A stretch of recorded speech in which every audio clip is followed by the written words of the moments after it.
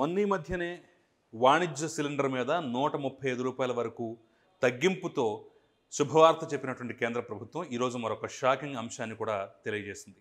Domestic cylinder అంటే ఇంట్లో వాడేటటువంటి cylinder ఏదైతే ఉందో పద్నాలుగు కేజీల సిలిండర్.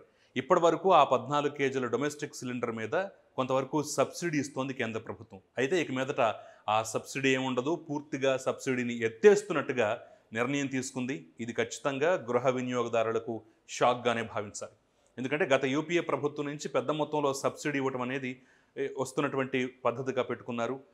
ఎందుకంటే గ్యాస్ ధరలు రోజు రోజుకి పెరుగుతున్నటువంటి నేపథ్యంలో కొంతవరకు ఊరటనిచ్చేందుకు సబ్సిడీని ప్రవేశపెట్టింది గత యూపీఏ ప్రభుత్వం. అయితే ఇప్పుడు తాజాగా అంటే గత ఎనిమిది సంవత్సరాల నుంచి ఎన్డీఏ ప్రభుత్వం అధికారంలోకి వచ్చిన దగ్గర నుంచి సబ్సిడీని పూర్తిగా మీరు వదులుకోండి అని చెప్పేసి కూడా కొంతవరకు సంపన్న వర్గాలకి ఆఫర్ ఇచ్చిన నేపథ్యంలో స్వచ్ఛందంగా మీరు వదులుకోండి అంటూ కూడా కొంతమేరకు ఎవరైతే సబ్సిడీ అక్కర్లేదని భావిస్తున్నారో వారిని ప్రోత్సహించినటువంటి నేపథ్యంలో కేవలం పేదలకు మాత్రమే సబ్సిడీ ఇస్తామనేటటువంటి అంశాన్ని తెర మీద తీసుకొచ్చింది. ఆ నేపథ్యంలోనే ఉజ్వల యోజన కింద ప్రధానమంత్రి ఉజ్వల యోజన కింద ఎవరైతే గ్యాస్ సిలిండర్లు తీసుకున్నారో అంటే గ్యాస్ కనెక్షన్ తీసుకున్నారో ఆ యొక్క పేద కుటుంబాలకు మాత్రం తాజాగా రెండు వందల రూపాయల వరకు సబ్సిడీ మేము ఇస్తామని చెప్పేసి చెప్పినటువంటి నేపథ్యంలో ఇప్పుడు పూర్తిగా అంటే ఆ ఉజ్వల యోజన మాత్రమే అమల్లో ఉంటుంది.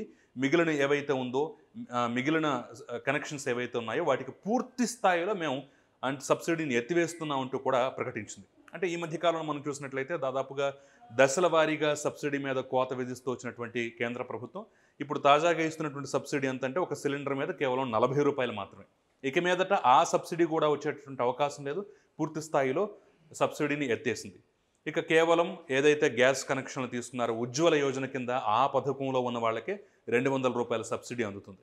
అయితే ఇది కూడా మాకు భారంగా ఉంటుందని చెప్పేసి కూడా కేంద్ర ప్రభుత్వం చెబుతోంది ఈ ఉజ్వల యోజన కింద కూడా దాదాపు ఆరు వేల కోట్ల రూపాయల ప్రభుత్వం మీద అదనపు భారం పడుతుందని చెప్పేసి చెప్తోంది. అయినా సరే పేదలని ఆదుకునేందుకు పేదలపై అధిక భారం మోపకుండా ఉండేందుకు ఈ సబ్సిడీ కొనసాగిస్తున్నాం. ఇక మిగిలిన కనెక్షన్స్ ఏవైతే ఉన్నాయో వాటికి మాత్రం పూర్తి స్థాయిలో ఎత్తేస్తున్నామని చెప్పేసి కూడా కేంద్ర ప్రభుత్వం తాజాగా ప్రకటించింది.